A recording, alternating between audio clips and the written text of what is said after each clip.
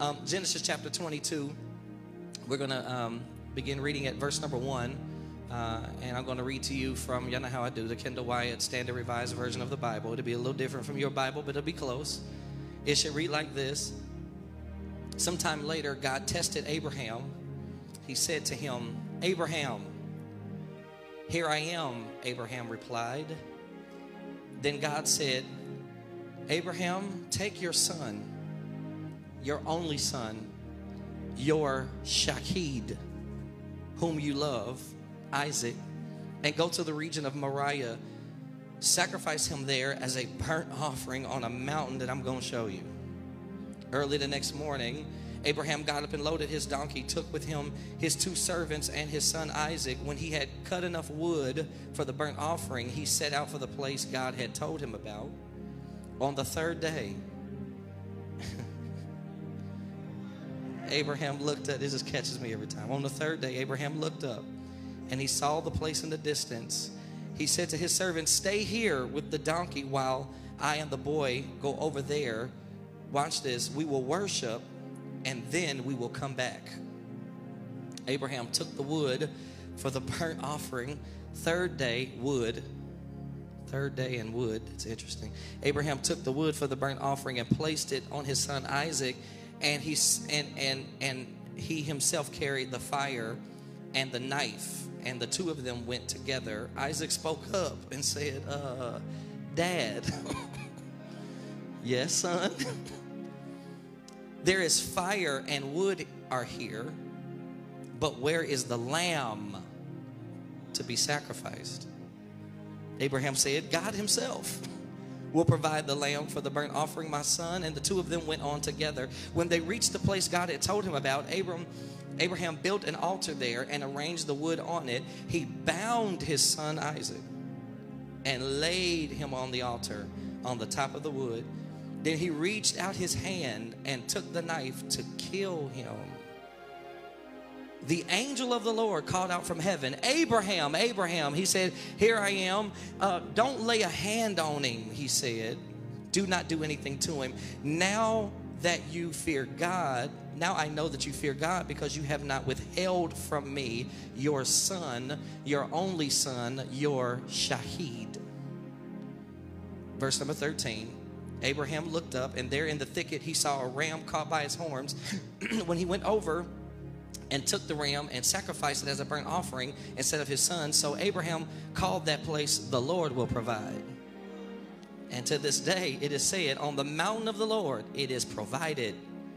The angel of the Lord called to Abraham from heaven a second time and said, I swear by me, declares the Lord, that because you have done this and have not withheld your son, your only son, your Yachid, I will surely bless you and make your descendants as numerous as the stars in the sky and the sand on the seashore. Your descendants will take possession of the cities of their enemies, and through your offspring, all the nations of the earth will be blessed because you have obeyed me. Lord, thank you for this time we're going to share in your word. God, I pray that you'll do for me now what I cannot do for myself. God, give me the ability to declare your word.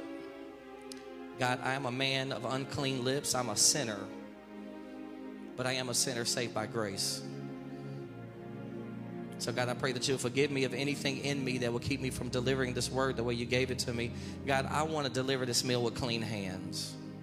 God, hide me behind the cross so your people can only see you stretched out, dying for our sins. God, I pray that you will guard these words from my mouth to their ears so that Satan won't come and steal this seed. I speak the name Jesus in here. Because your word says that at the name of Jesus, that every knee will bow and every tongue will confess that you are Lord to the glory of God the Father. I speak the name Jesus in here. And everything in here that's not like Jesus has to bow in the presence of the name of, I speak the name Jesus in here. God, rule in this house, super rule even in this house. Get the glory out of us today. God, now let it be less of me, but more of thee. God, let it be less of me, but more of thee. God, less of Kendall, but more of you.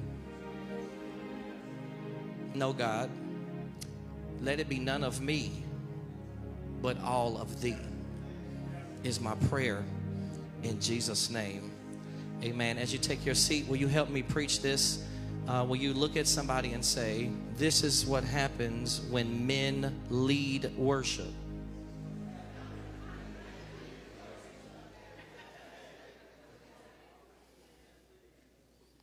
The last couple times I've preached, I've been head hunting, so just put your seatbelt on. It's okay. I came for the whole church last time with Eutychus. I'm coming for the men today with Abraham. So just hang in there. It's going to be all right. And don't go telling on me, all right? Don't go telling on me. Um, my son, Cole, uh, my little buddy, I call him Junior, um, as he's getting older, um, I think he likes me. Um, no, and this is a real thing because he used to, I don't think he, he used to didn't like me. I remember one time I was changing his diaper and I was like, Cole, do you love daddy? Because I said, do you love daddy? He would always tell me no. I was like, dang, that's tough. So I was changing his diaper. I said, hey, buddy, do you love daddy? And one time he said, yes, you do? He said, no. I said, that's tough.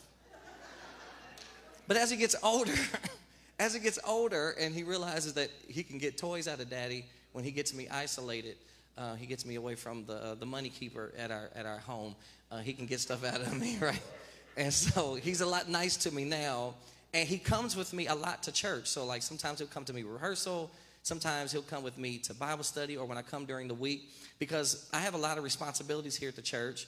Um, in addition to doing, you know, the worship and art stuff, um, I have this line in my uh, job description that Pastor Johnson put in there uh, so eloquently and so with so much wisdom. And the line says, and other duties as assigned. and that other duties as assigned is the one that ends up taking up most of my week.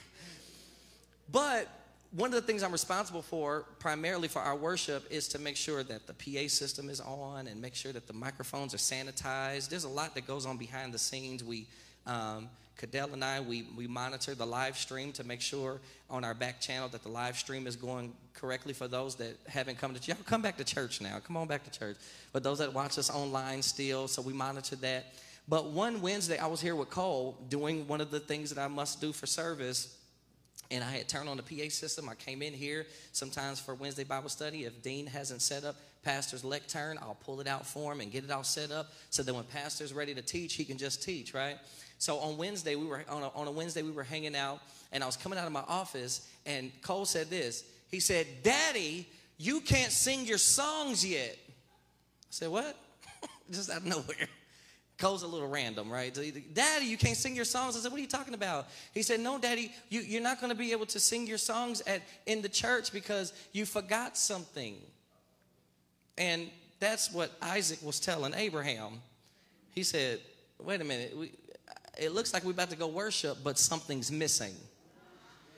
And I want to catch men in here today because the reason why Isaac could recognize when something was missing is because his father took him into the presence of the Lord so much that when something was off, his son could tell. That's the first bomb drop. That when you bring your son, we're what we're going to learn in Genesis chapter 22, that when you bring your sons specifically to worship, they recognize when they, because they're in the presence of God so much, they recognize when something's off, when something doesn't look right. And so in this text, Abraham has been told by God to take his son to a place in Moriah, on Mount Moriah, and offer him as a sacrifice. And I want you to understand something about this text. Look at verse number one right now. We're going to go right into the text. Look at verse number one. Sometime later, God tested Abraham. He said to him, Abraham, look what Abraham says when he heard the voice of God calling him to worship. He said, here I am. Men, when the Lord calls you to do something in the kingdom and for the kingdom, stop talking to me about how often you have to go to work. Oh, Jesus. Oh, Lord. I got the men. Last time I had the men a little bit on my side. I'm going to make some enemies. Abraham didn't have reasons why he couldn't do what God asked him to do. Abraham said, Lord, here I am. And that's what God wants from you. God wants you to respond to his call. When he called, in the day you hear my voice, hear my voice, don't harden your heart. When God starts calling you, don't harden your heart. Why? Because we're going to find out later in this text that there are young men needing to see you answer the call of God. So that's your first one. I know it's quiet in here, boy. It's going to be quiet today. He's, this is what the Lord told him to do in verse number two. He said, Take your son, take your promise, take your dream. Oh Lord, take your promise, take your son, take your dream, take your Yachid, whom you love, Isaac, and go to the region of Moriah and sacrifice your dream there. Sometimes when God calls you, he calls you to sacrifice the thing that he told you he would give you in the first place. Now, this is, confuses me because God, you told me that you would give me this. You told me I would be a business owner. God, you told me that I would be a therapist. You told me that I would be an attorney. You told me that I would get into middle management or upper management at the factory I work at. You said that to me. Now you're asking me to sacrifice that for the kingdom? Yes, I'm asking you to sacrifice that for the kingdom. And look what God says to him take that, take that son, take that dream, the thing I promised you, and I want you to go to the region of Moriah and sacrifice it there. I want you to burn it up for my glory. That is tough. And y'all must be way more spiritual than me because when I was reading this, I was like, wait a minute, Lord, now ho, ho, ho, ho, ho. You told me that I was going to be able to do this. Now you want me to be willing to burn it to the ground for your will? Keep reading. Verse 3, look what Abraham does. He hears the voice of God. He doesn't run from the voice of God. He says, God, here I am. God tells him, I want you to sacrifice the thing I promised you. And then look what he does.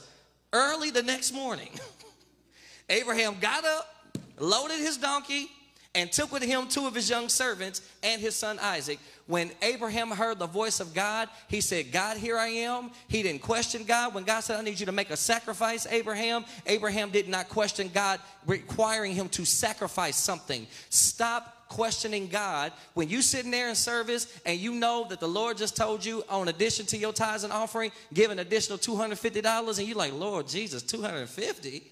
What do they need it for? The lights are paid. Stop negotiating with God when He asks you to sacrifice. Just say, God, here I am. What would you like for me to do? And look what Abraham does in, in verse number three that he takes two of his male servants and his son Isaac. I want to challenge the men in this room that you be like Abraham and that you take your children to worship, but you take somebody else's too. It's going to be tight. It's going to be all right, though. You're going to make it. The 8 o'clock service was still alive at the end. Take yours plus one. Abraham did two. I'm challenging you just to do one. Abraham has a history of taking young men under his wing because he took his nephew Lot under his wing. As a matter of fact, when it was time to go their separate ways, Abraham let Lot choose how much do you want 60% of my wealth or do you want 40%? Lot said, I'm gonna take 60, Doc. He said, We're gonna take, gonna take the 60. We're good. Abraham has a history of not only taking care of his, but taking on someone else's. Do you know that in the, I was reading an article, the late 70s, 80s and, and, and earnest in the 90s that black men started leaving the church. There are many reasons why we left the church, and we don't have time to deal with those, but the fact is, we left the church. And would you believe that when black men started leaving the church, that crime went up? When black men started leaving, that you can dovetail them together, that there's parallel lines, they're on parallel tracks, that when you left church, black man, your neighborhood started falling apart. There's a reason for that. And Abraham understood this that not only do I need to take my household to worship, I need to grab another young man and take him with me. That young man that, that plays video games at your house while they're there playing Fortnite and he come over the house and they up in that room, be like, well, let me knock on the door, make sure they alive in there because they've been playing video games for five hours. Knock on that door, tell your son, stop letting your children sit at home. I, listen, as a former youth pastor, I'm telling you, you don't give them an option to wash their behind. You don't give them an option to hang their clothes up. You don't give them an option to wash your dishes correctly. You don't give them an option of whether or not they're going to school and whether or not they're going to do their homework. Why would you let them choose whether or not they're going to serve God while they're eating your food? Yeah. Abraham said, I'm going to take my son plus one. And when you do that, here's the first thing I want to drop on you in this text that we learn that when men lead worship, young men get to see the power of God demonstrated. Because these young men, look what Abraham says to them.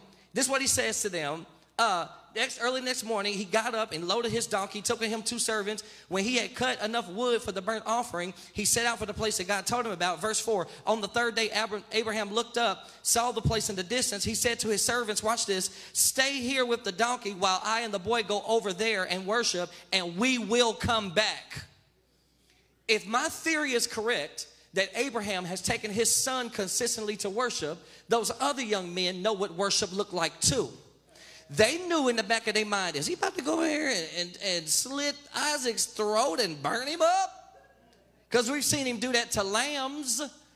But because of their proximity to Abraham, because he took them to worship, when God started moving and God intervened, young men who did not have their own personal experience with God was able to see the power of God through the way Abraham conducted himself. They had to stay over here. They didn't get an up close and personal encounter with God. They sit at home on Sunday. They don't get an up close and personal encounter with God. But Abraham, because of how he lived his life, this is why men sometimes, even if you can't get a young man or a young lady to come in here with you, the way you live your life is a testimony about whether or not you're really talking about what you're talking about. Because you say you trust God and you serve God, but if you acting right, then I believe that you serve God and trust God.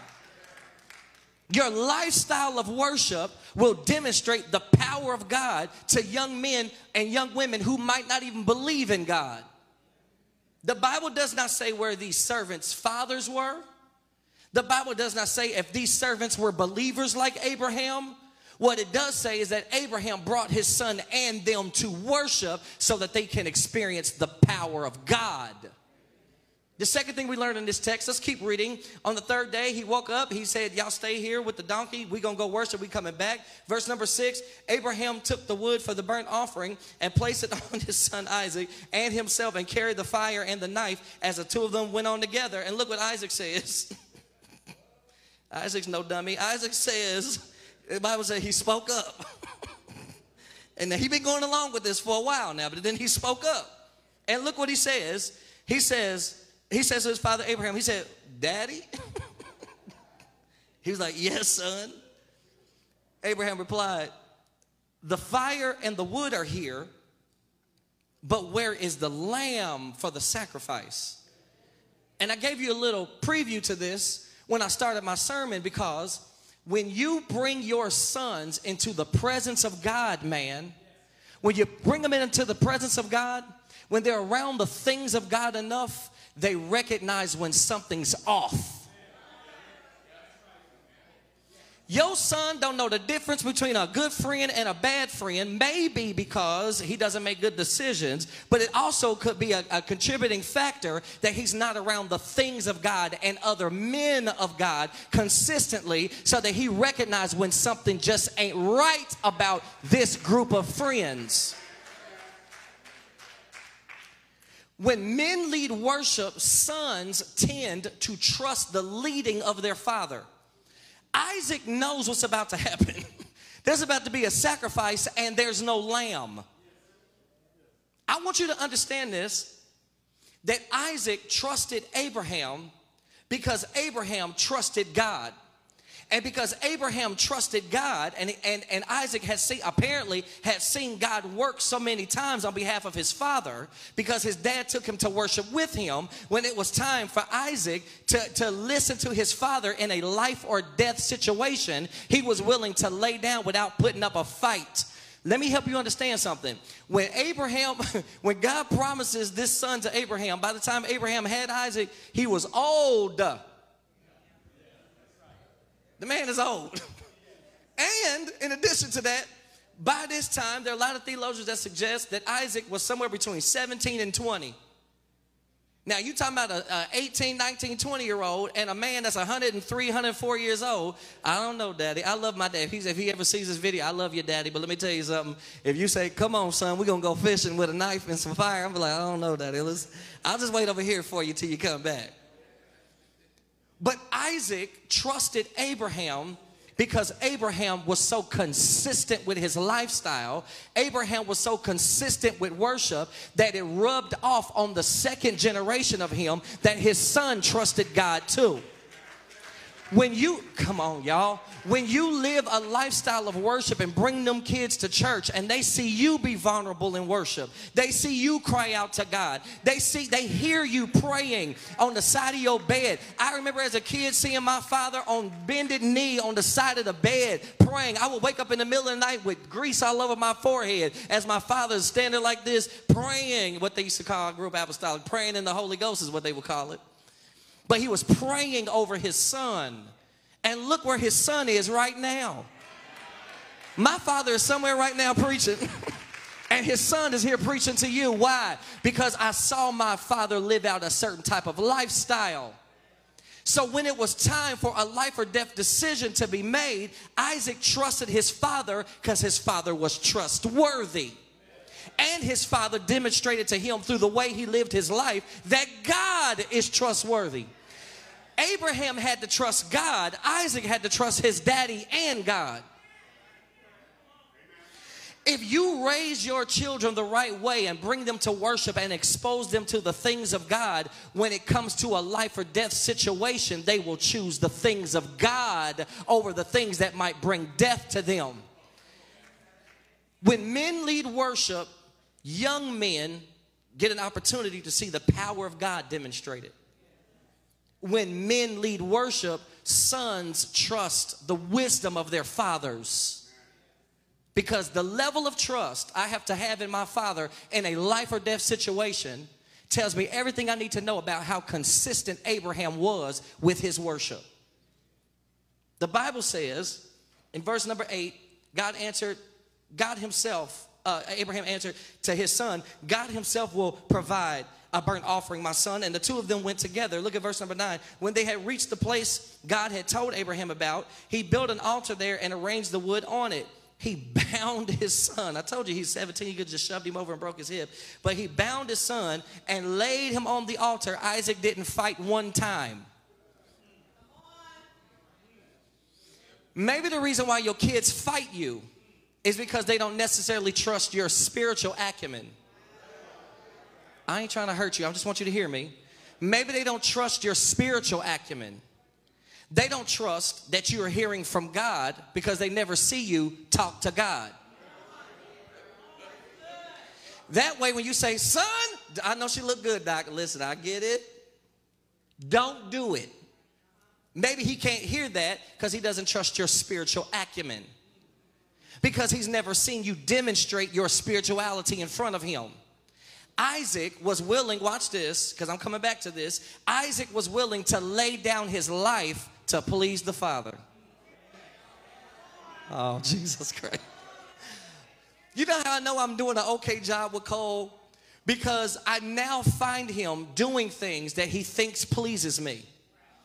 So we're in the house and he'll play with this little, you know, this little basketball goal in the house and he, you know, he, he'll go, dunk. Daddy, come watch me dunk. And it's the same height as him, but that's okay. So when he, when he goes and that's okay. Just don't judge him. So when he goes and dunk, I'm like, man, oh my God, man, you look like LeBron James. The best player to ever live. You look like LeBron James. Don't start with me.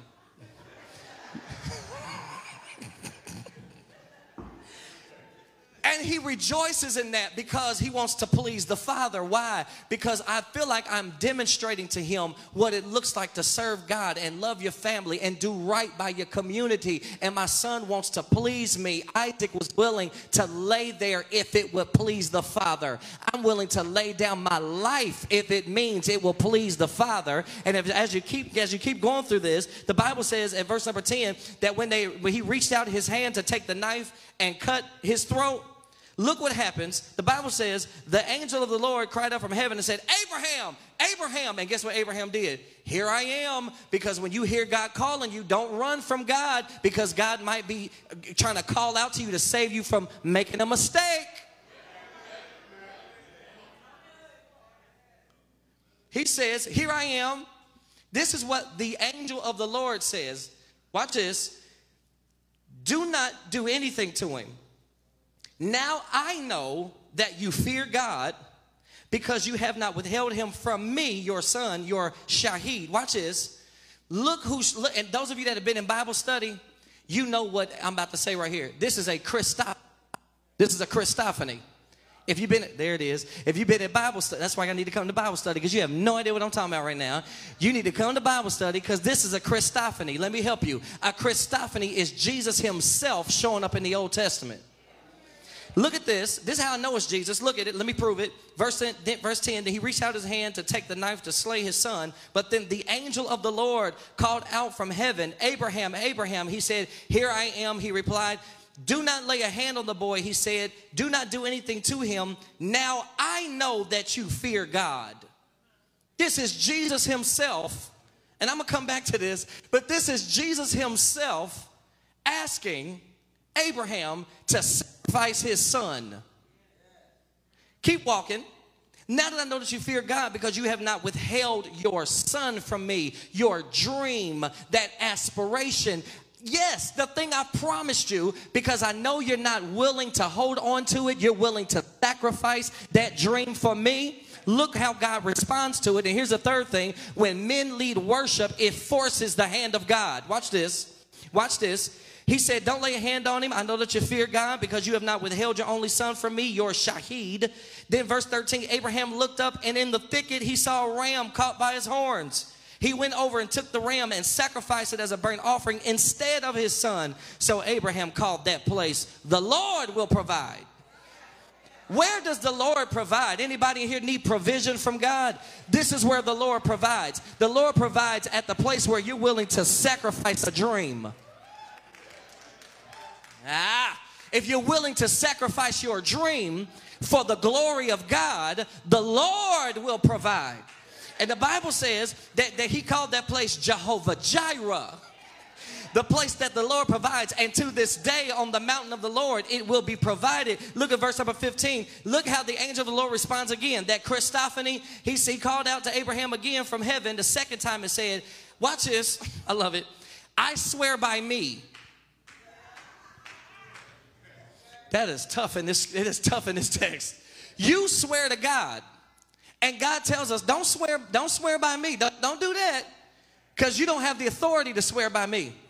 But apparently, Jesus, God, he looked around and could find nobody worthy of swearing by. That is so tough. He's in heaven. He looked around. He looked at the seraphim, the, the seraphim, the cherubim, he looked at the angels that fly around the throne saying, Holy, holy, holy, Lord God Almighty, which is, was, and the, is to come. He looked at Gabriel the archangel. He looked at Michael the archangel. And he looked around and found nobody else that he could swear by. And then God says, I swear by me. Look what he says. I swear to myself.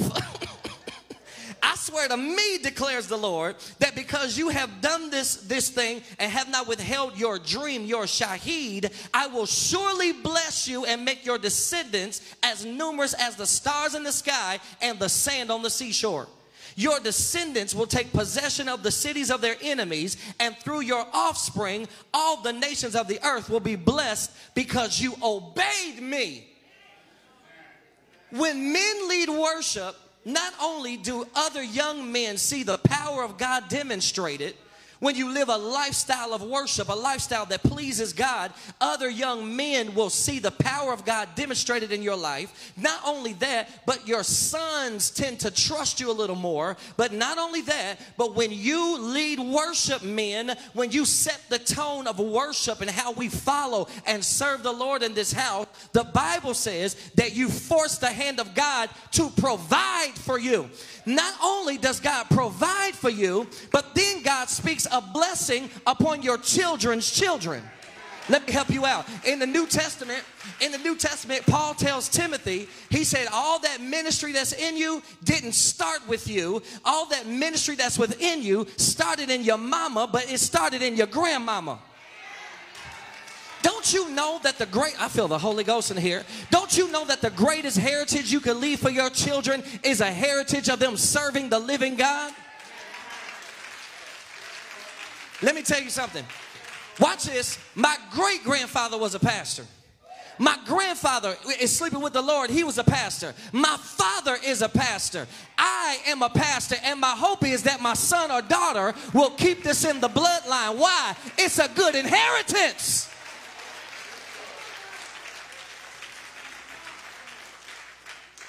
Teach your son that we go to church in this family. We serve God in this family.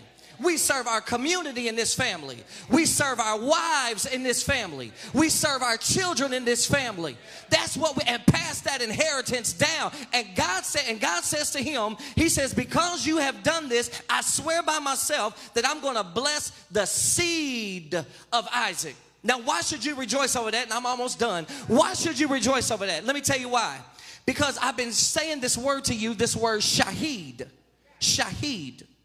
And I'll, I'll excuse me, Yachid. Yachid is what it is. Yachid. And the reason why I want you to understand this word is because that word only shows up twice in the whole Bible.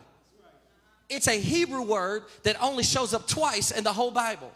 It shows up right here in Genesis chapter 22, but then it also shows up in John 3:16. Y'all don't know when to shout. Woo! So watch this. Let me put it all together for you because we're about to go home. Let me put it together. We're gonna get out early. Let me put it together for you if this is true, and the angel of the Lord is Jesus himself on Mount Moriah, then Jesus tells Abraham to sacrifice his son. Jesus tells the father to sacrifice the son. And because the father was willing to give the son up, the son was willing to lay down his life to please the father. And the Bible declares over in John, chap- John chapter 3, verse 16, that God so loved the world that he gave his only shahid, that whosoever believes in him shall not perish, but have everlasting life. And if that's true, that this was Jesus on Mount Moriah, then essentially what happened is that God was foreshadowing him sacrificing his son. Oh, I want to run around this room. If that's true, then watch this. The son in the Old Testament saves his, his eventual father. You want to know why? Because if, if Abraham sacrifices Isaac, then Jesus can't come down through 42 generations. In that moment, listen to me, in that moment, Jesus could have saved himself from the cross. In that moment, Jesus could have saved himself from the cross. Because if Isaac dies on Mount Moriah, Jesus doesn't have to die on the cross. But because Jesus wanted to please the Father, the Bible says that before the foundation of the earth was laid, that there was a lamb slain. the Bible said that it pleased the Father to see his son bruised on the cross. Why? Because Jesus being bruised on the cross meant that you could get eternal life. Is there anybody in here that's glad that the Father was willing to sacrifice the Son? and that the Son was willing to lay down his life. But here it is the reason why Jesus was willing to lay down his life is because he trusted the Father.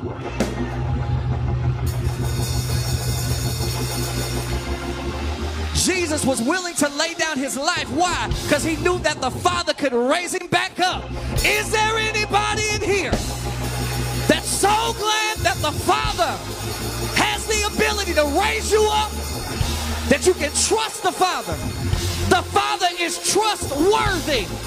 Is there anybody in here that knows that the Father is trustworthy? Lift your hands and open your mouth and say, You are trustworthy. Lift your hands and open your mouth and say, You are trustworthy. If you want me to sacrifice my dream, if you want me to sacrifice this business, if you want me to sacrifice this relationship, I'll lay it down so I can please the Father. Look at somebody and tell them, I'm willing to please the Father. I'm willing to please the Father. I'm willing to please the Father. Why? Because the Father is trustworthy.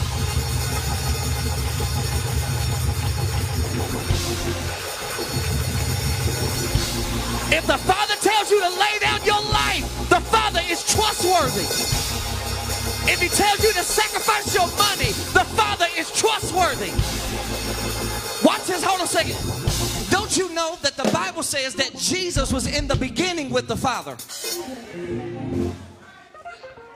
Jesus is in the beginning with the Father. And Jesus has seen the consistency of the Father for eons. He saw the consistency of his Father.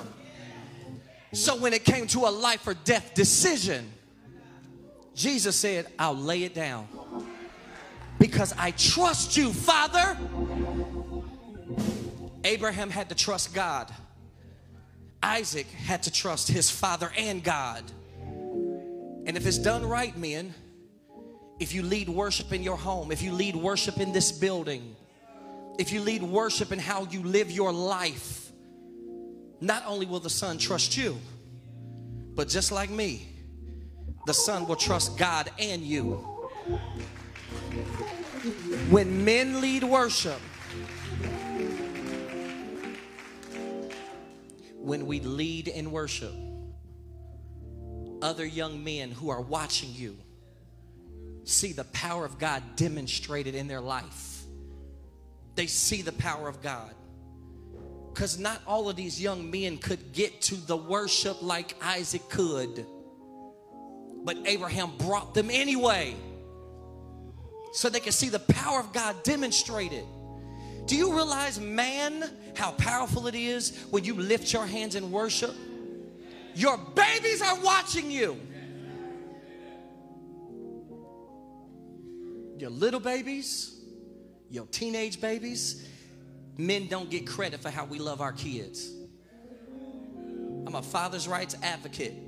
We don't get credit for how much we love our. I know you love those kids too, but I love them too. And I'm telling you, I know you love your kids and your grandchildren. I know you love them and they're watching you. Show them what it looks like to serve God. Because when it's time for you to have, when it's time for them to have to trust you, when their life depends on it,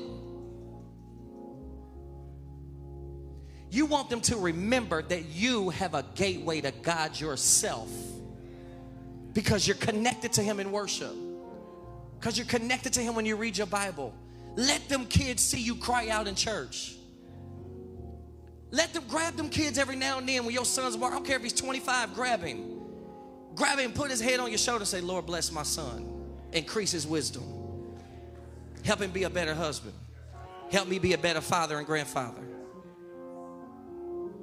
Because there will come a time when it's a life or death decision that has to be made, and you need Isaac to trust you.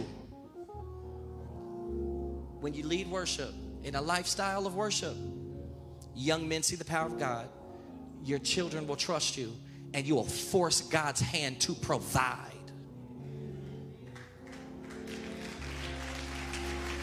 Stand to your feet.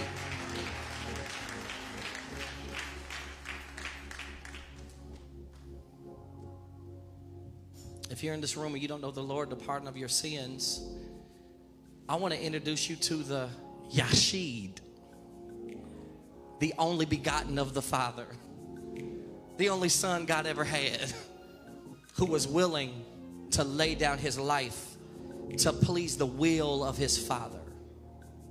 I want to introduce you to him. His name is Jesus. Here at Mount Pleasant, we believe you have to do three things to be saved. We believe that you have to admit, believe, and confess. We call it the ABCs of salvation. You have to admit that you are a sinner. A sinner meaning that you've made mistakes and that you're not perfect and that you need God. Then you have to believe that Jesus died on the cross and that the Father raised him from the dead. And then you have to confess that out of your mouth. You have to admit that you're a sinner you have to believe on the Lord Jesus Christ that He died and, we, and that He rose. And then you got to say that. I believe. I'm a sinner, but I do believe. And when you do that, we believe according to Romans chapter 10, verse 9, that if you believe and confess, that you shall be saved. If you're in this room and you are a Christian, but you don't have a church home, we would love to be your brothers and sisters in Christ. We would love to have you here. There's a lot of really great things going on in Mount Pleasant. I would love to meet you and talk to you.